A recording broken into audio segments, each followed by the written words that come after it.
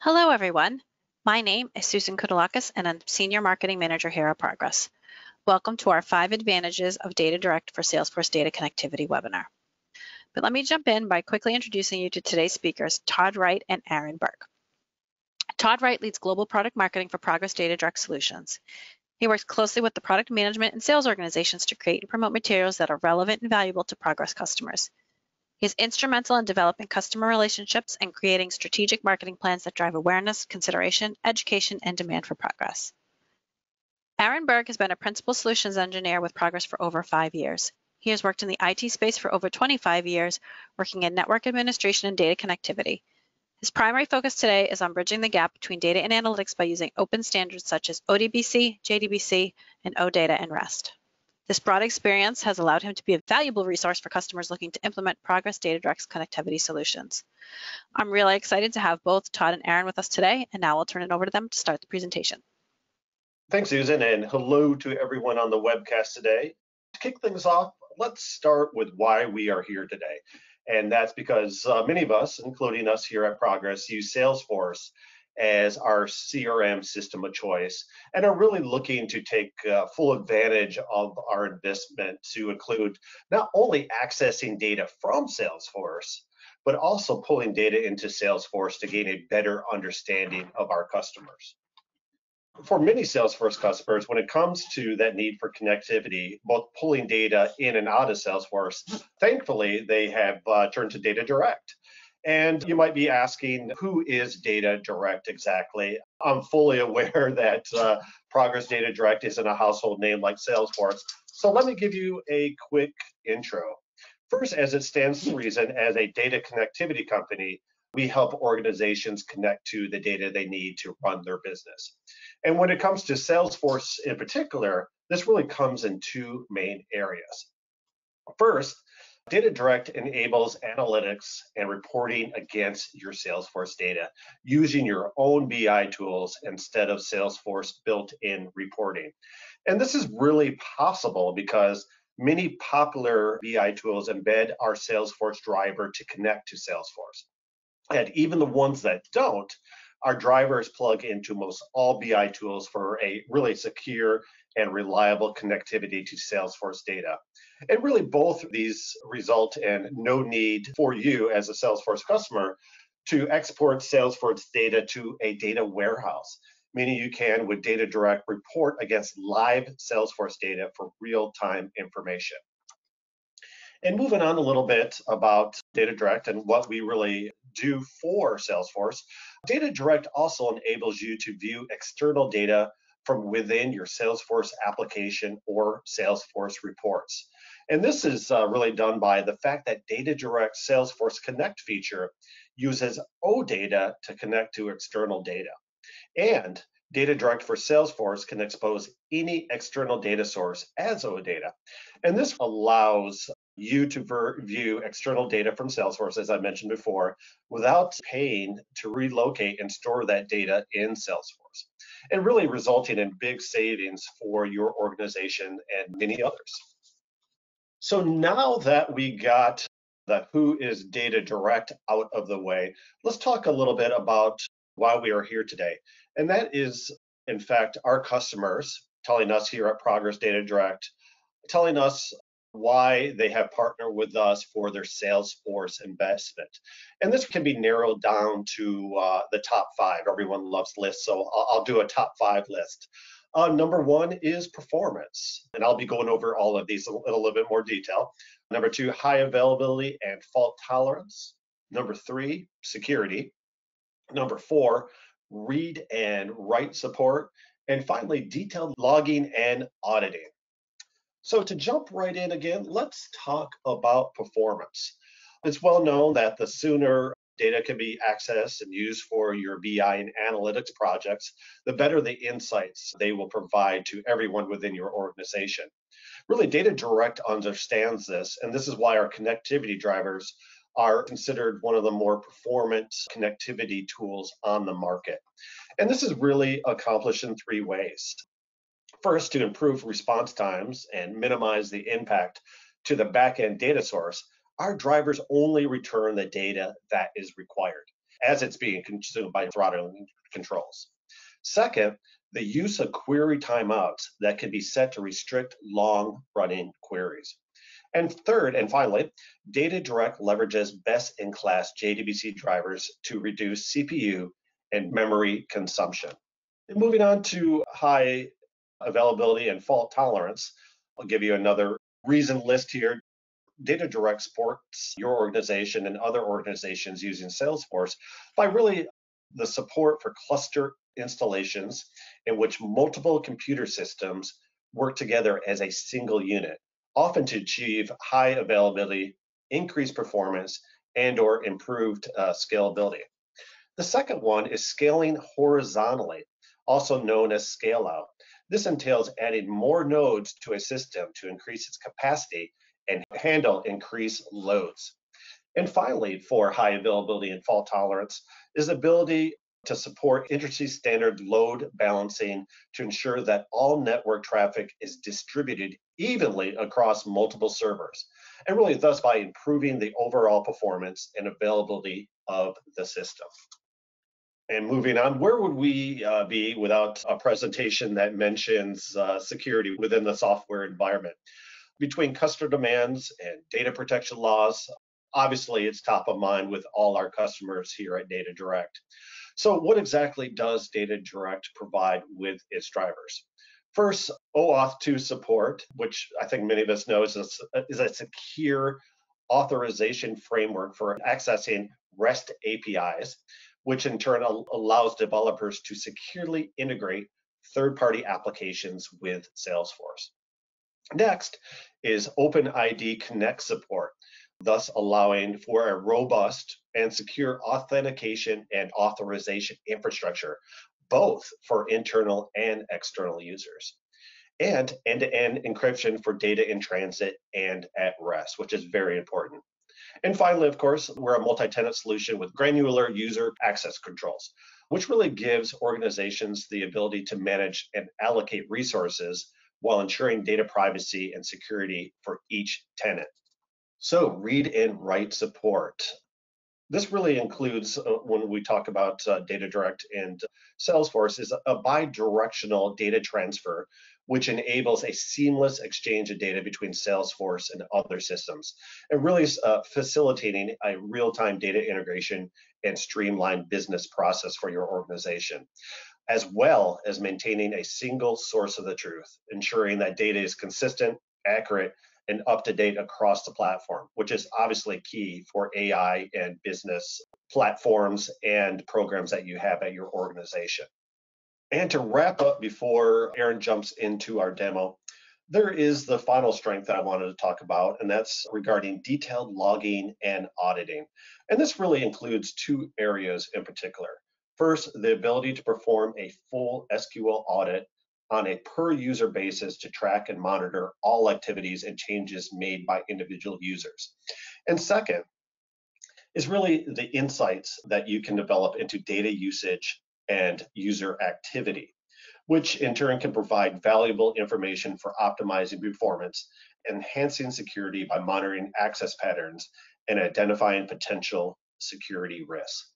I know I went over a lot here uh, within my presentation. At this time, uh, we're going to pass it over to Aaron for that demo. He's going to show a lot of what I spoke about.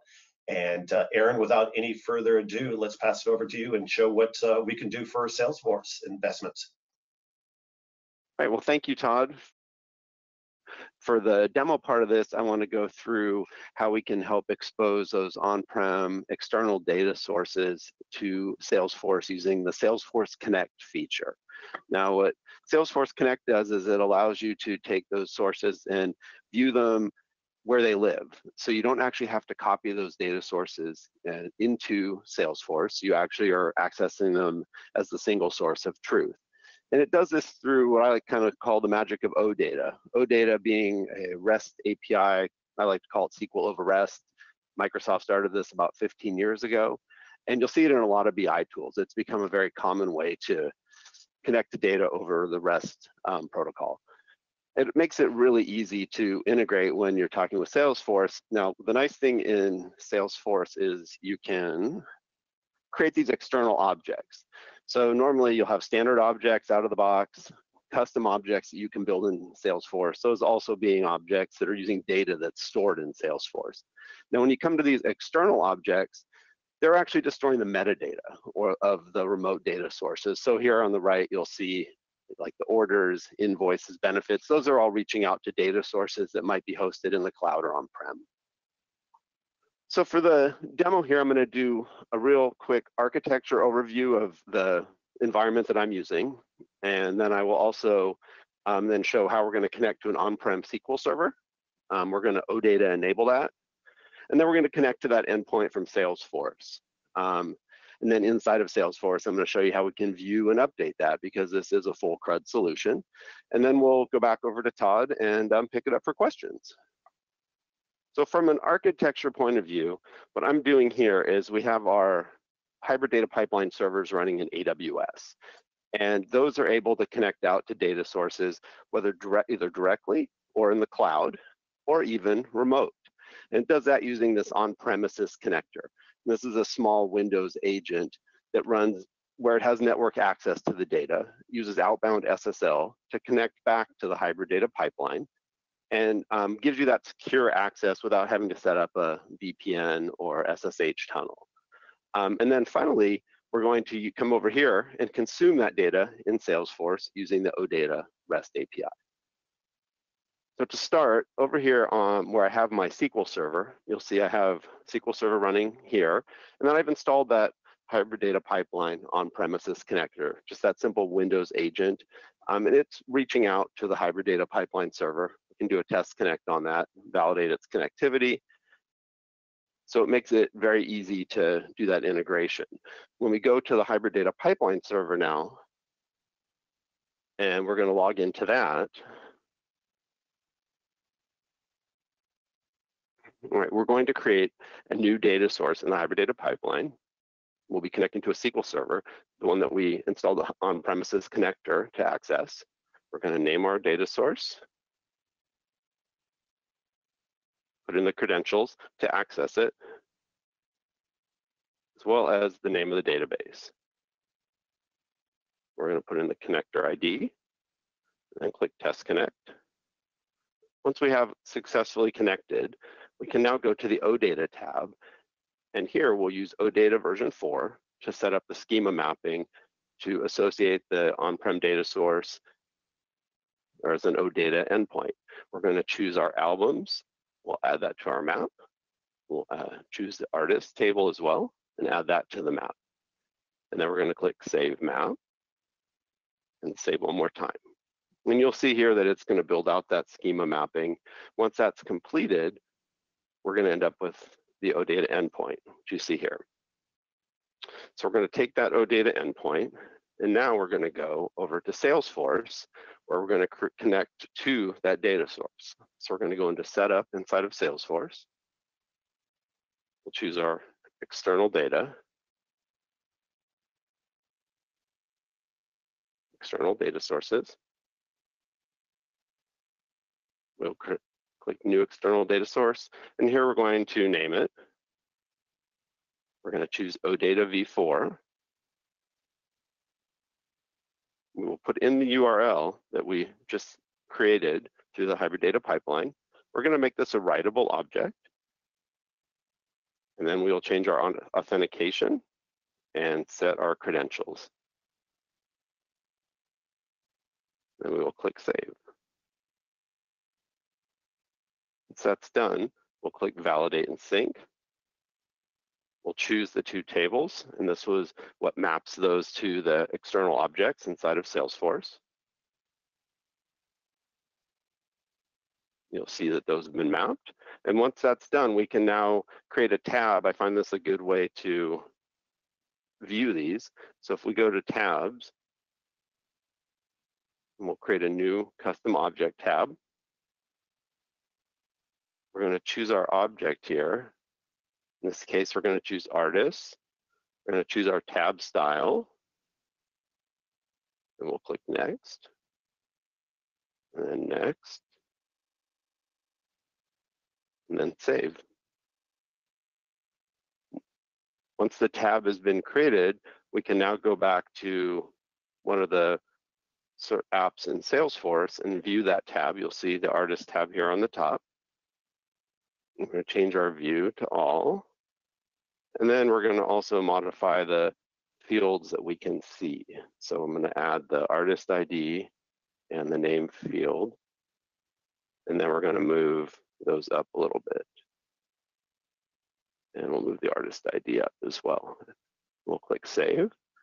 And now you'll see this live data coming back from that on-premise database. Now, one cool thing we can do, and you'll actually see the URL here pointing to it, is we can actually create a new record here to show that we have full write capabilities. And to use my uh, stage name here, we'll save that. Now we've created Artist 300. If we go back to our SQL Server and run a query, you'll see that we've already written that back. Right.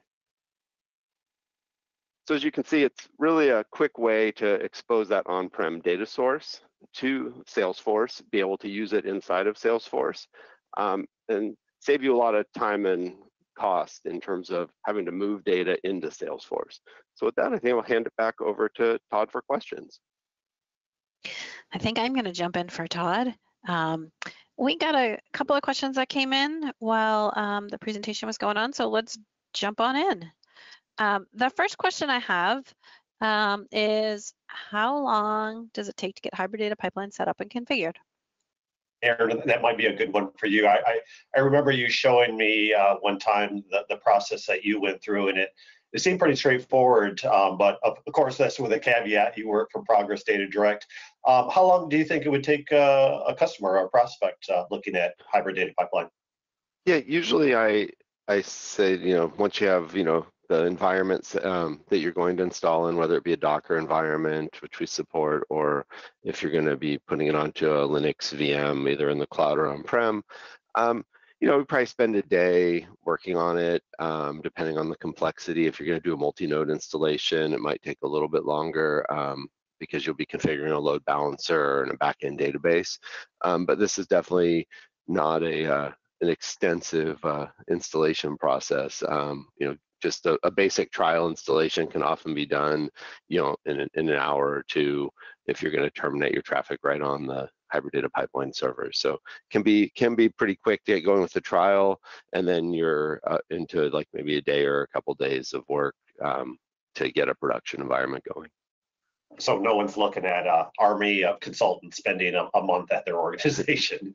Yeah, no. When we have um, we we definitely have a fair number of tutorials and um, and documentation and videos to help with that. And then also, of course, you have have our, our pre pre-sales team here that's always yep. always eager to assist. Yep. So I have another question for you is, is there a business case to better understand this integration?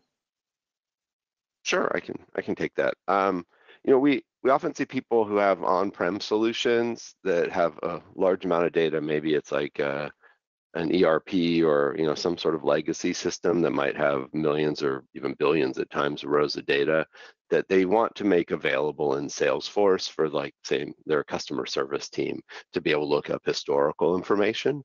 Um, and we've seen this a number of times and, and the prospect of migrating all of that data into Salesforce is cost prohibitive and um, pretty time consuming. So to be able to access it where it lives is a pretty common business case um, to to be able to um, solve that problem. Okay, what happens if I want to connect to a source not listed in the product? So for um, sources out that might not be in our list of data sources that we we include, um, you have a couple options. You can bring your own JDBC driver. So we support third-party um, JDBC drivers that can be dropped in both to the server for directly connecting from the hybrid data pipeline servers or through the on-premises connector.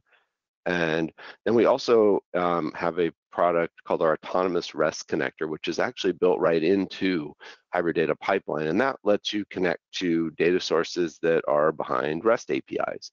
So um, we actually have about 50 or so different like models or something's called recipes to help you connect to sources like Jira or other um, other REST-based sources and make it real easy to get SQL access to those, and then even could OData enable them if you desire. And then if you have um, like internal custom APIs or maybe um, even public APIs that um, we don't necessarily have a model for, we have a, a, user interface that allows you to work with through building a configuration to those um, APIs without without needing to write any code. So it's the autonomous REST connector is a very powerful way to expand the capabilities. So there's another question is with the data direct model, you um, how do you propose to solve interoperability with any data? I don't know if you just answered that or not. Yeah, interoperability. I'm not sure I'm completely following. Um, I mean, the, the idea here is that we're giving you access to to the data where it lives. Um, and then you can you know have that ability to report on it within you know your salesforce environment for this demo so um, you know you could even do reporting that's pulling data from salesforce and maybe your external data sources okay um, there are a couple more questions that came in so is there a way to aggregate the on-premise data with salesforce data and run a consolidated bi so within within Salesforce, it, it, would be within the limit, you know, whatever the limits of the Salesforce reporting capabilities are. Um, in our product, we true treat the data sources as independent sources. Um, so it's not doing data virtualization um, in that in that sense. Um, we do have a feature that lets you kind of save in terms of your your costs um, for in Salesforce by um, putting a number of different sources behind a single OData endpoint and that, that can be useful from a cost savings perspective, but we do still treat them as individual sources. Okay. Um, can this be installed in a Docker environment? It can. We um, can support um, a range of Docker environments. You can actually do set it up as a high availability cluster in Docker or single node environment. We have um, a fair bit of documentation on that as well. Okay, so someone um, sent a question in about costs, so we'll follow up with uh, that person um, after the webinar. So I just wanted to uh, to, to, mention that. Um, there's another question about data masking. Is there data masking transformation capabilities for on-premise data? Not in hybrid data pipeline. So we are really focused on the connectivity piece and not the ETL piece with this tool. Um, well, what about the masking, the masking portion, Aaron, is that still? Yeah, today, um, yeah. Yeah, today there there is no we, we really don't get into the into modifying or affecting the data that's moving through hybrid data pipeline. You can control in your OData mapping, um, you know, you can be more granular in terms of which um, tables and columns you you expose, but within the actual data, there's no you know, we're, we're keeping everything intact as it goes through. Yep. Okay, so we have a couple more questions if you guys have time for to stick around today. So the one question is, is what kind of user training is provided or needed? Sure. I so, would, oh, go, go, ahead. ahead yeah. Okay. I would say um, the user training really starts off with people like Aaron um, that you'll be dealing with uh, from the very beginning, uh, one of our pre-sales engineers. Uh, we also have a lot of uh, tutorials on our website to uh, help out new customers, as well as some uh, good enablement videos. And of course, we have a community page uh, that can answer a lot of questions from some what we call our power users. Um, Aaron, I, I know you have a lot more uh, field experience than I do regarding all this. Have you seen a lot of intensive training needed or? No, no I, I mean, I, I think generally through the pre-sales process um, and getting a POC running, that that usually gets people going pretty quickly. Um, there's really no no need for like, you know, ex extra training or third-party training beyond that. Okay, so what version of Salesforce do you need? Is the API for Salesforce required? So we support the latest the latest releases from Salesforce, and we're for hybrid data pipe or for the external data capabilities, that's a that's something they've supported for number of years. I as, as long as I've been with Progress, and I, I think beyond that for the Salesforce Connect feature. So um, definitely, uh, there's no special requirement there on the. You do need to license that option from Salesforce. Salesforce Connect is not always included in your in your initial Salesforce subscription.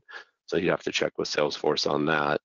Um, in terms of consuming data using the drivers um, we do that Todd also mentioned, we didn't necessarily demo, but we do have a standalone um, ODBC and JDB sales ODBC and JDBC Salesforce drivers that can give you SQL access, and then you can use in the BI tools of your choosing, and those will support. Um, you know, we we have a like a zero day or a uh, day one, I'm sorry, zero day would be a bad choice of term, but a day a day one um, support policy for um, any changes that Salesforce makes.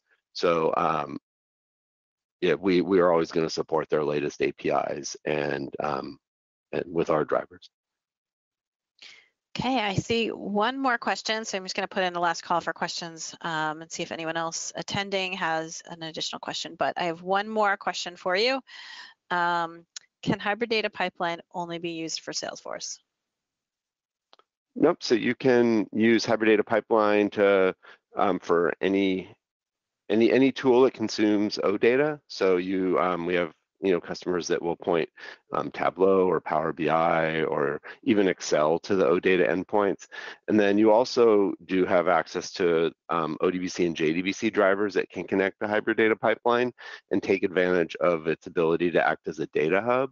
So using a single driver, you can connect to um, any of the data sources that you've um, configured inside of hybrid data pipeline. So it, it's a little bit of a Swiss Army knife, does lots of different things. Um, if you have specific use cases, please let us know. Um, we can definitely follow up. Actually, there is one more question. Mhm. Um, how does this, and this might be very specific for the person who asked it for QAD, but how does this work if we have multiple QAD databases? Does it consolidate the data from all and send to Salesforce? So it would you would connect to um, with QADM. Um, you would probably connect to each of the individual if you had individual databases behind the scenes. Um, you'd be connecting to those directly and then um, have them ex exposed as in more or less individual data sources inside of Salesforce. Um, it'd probably be how I would see that working. We probably have to look at your use case a little bit more. If we were connecting through any sort of REST endpoints that were exposed, that may be a different, you know, it might be a different answer. But we can definitely dig into that more. Okay, um, that actually was the last question. Um, I don't see any others that have come in. So with that, um, I'd like to close today's webinar and thank you all for joining. Um, there are a few people that asked for um, some additional information and we will follow up with you um, after this after the webinar. So thank you all for joining us today. Thanks, Susan. Thanks, everyone. Thank you.